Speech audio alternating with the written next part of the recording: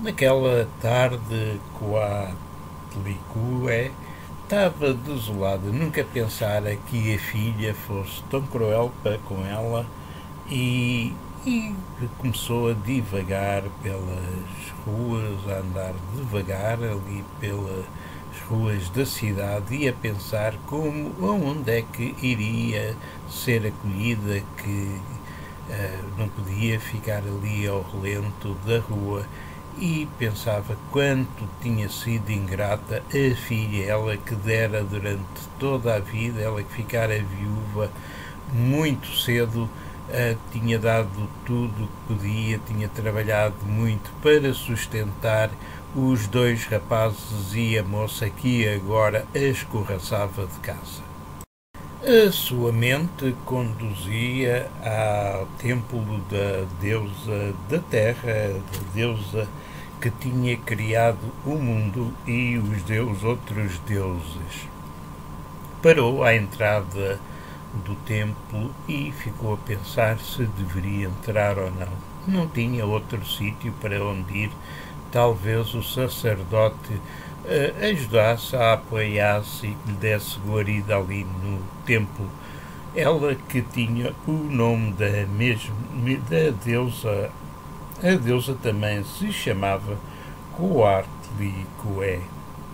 O sacerdote que a recebeu à entrada do templo perguntou-lhe o que estava ali a fazer e ela explicou que tinha sido expulsa pela filha, não tinha para onde ir e se o sacerdote a ajudava, ela limparia o templo, ela faria tudo o que era necessário para manter o templo em condições. O sacerdote perguntou-lhe se ela queria comer alguma coisa, ela disse que não.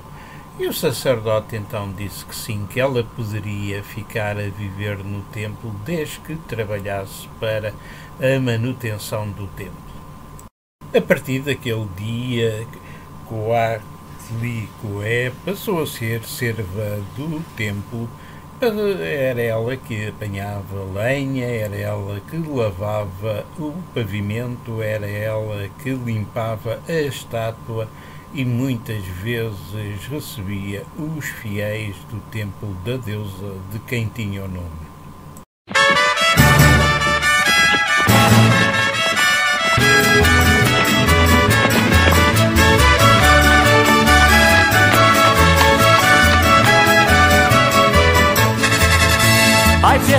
La hacienda, la fiesta de mi vida. Miro a las rancheritas, alegres como niñas, alegres como niñas.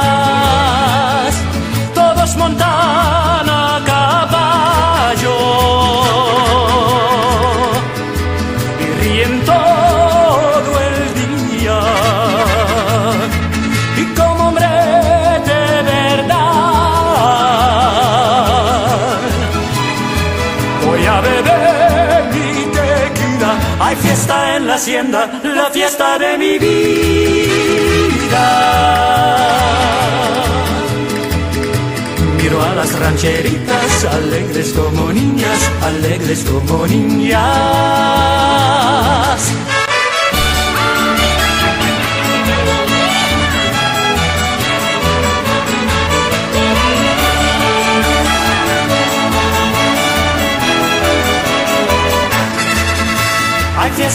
Hacienda, la fiesta de mi vida. Y ahora yo ya quiero bailar con la ranchera, bailar con la ranchera. Todos montan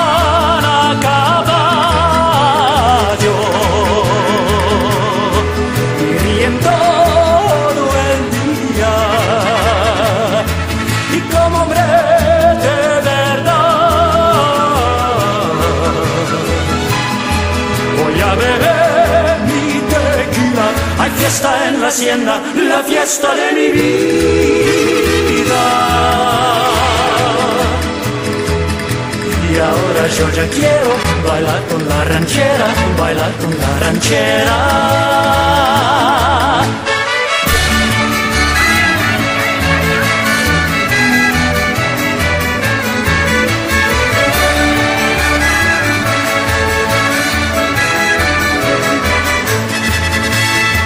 Hacienda, la fiesta de mi vida.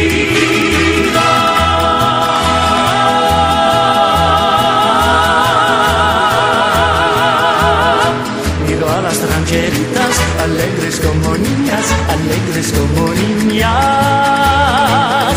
todos montan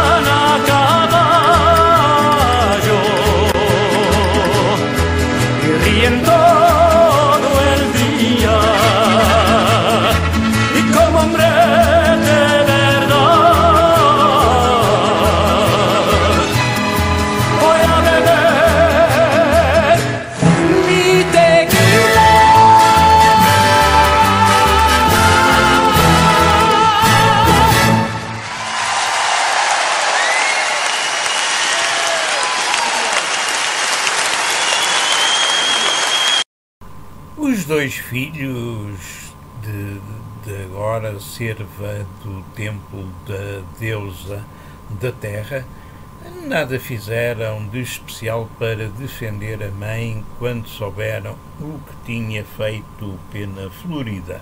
Naquela noite, a nossa Coatlicoé tinha guardado pela saída dos sacerdotes para guardar as, as alfaias agrícolas e pois tinha havido uma procissão de camponeses para que tinham ido ao templo e tinham sujado o pavimento todo.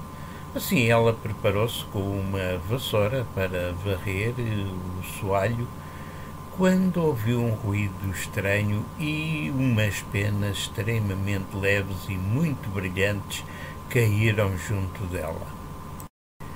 Mas era já tarde, havia ainda muito calor e a nossa viúva acabou por adormecer eh, junto à estátua. Ela deitou-se junto à estátua e adormeceu serenamente quando sentiu um barulho, um barulho estranho, e viu diante dela um moço, um moço com um escudo de ouro, com quatro flechas uh, incrustadas naquele escudo de ouro. Quatro. Licoé ficou assustada com aquela visão e perguntou se era um espírito. Ele respondeu que não, que era bem de carne, era feito de carne e para ela comprovar, é para ela sentir as carnes dele, que não era, portanto, apenas um espírito. Mas ela ficou a olhar para ele de forma curiosa e ele referiu que era um semideus que tinha vindo à Terra com uma missão de conduzir os astecas para a sua nova terra. A divindade falou que se chamava Colibri do Sul, pois iria todo o povo asteca até ao sul com ele e queria apenas que ela lhe fizesse um favor. É claro que a própria pobre mulher disse que sim, se fosse possível, e ele respondeu que queria que ela fosse mãe dele.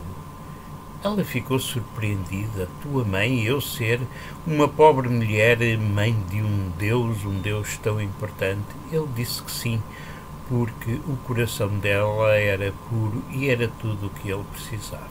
É claro que ela ficou uh, feliz e o semideus disse-lhe para ela ir chamar todos os sacerdotes e guerreiros para uma reunião que precisava de ter com eles.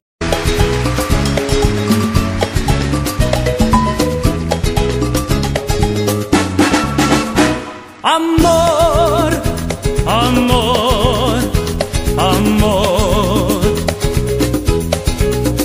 nació de ti, nació de mí, de la esperanza.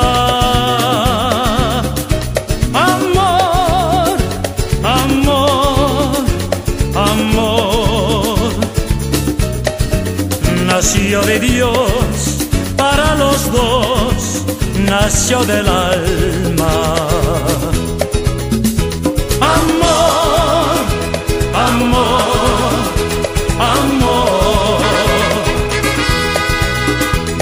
De ti, nació de mí, de la esperanza. Amor, amor, amor, nació de Dios para los dos, nació del alma.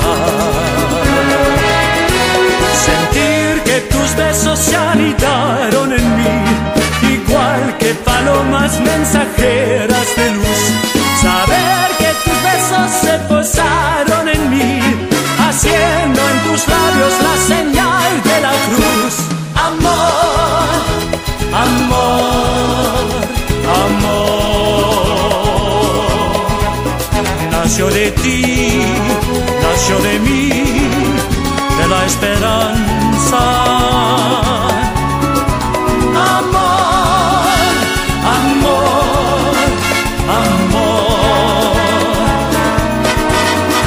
Nació de Dios para los dos, nació del alma.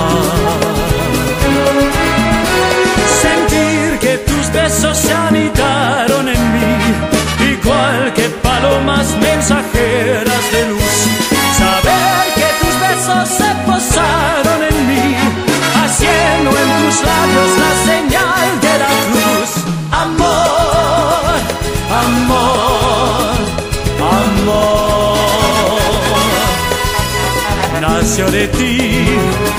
nació de mí, de la esperanza. Amor, amor, amor. Nació de Dios para los dos, nació del alma.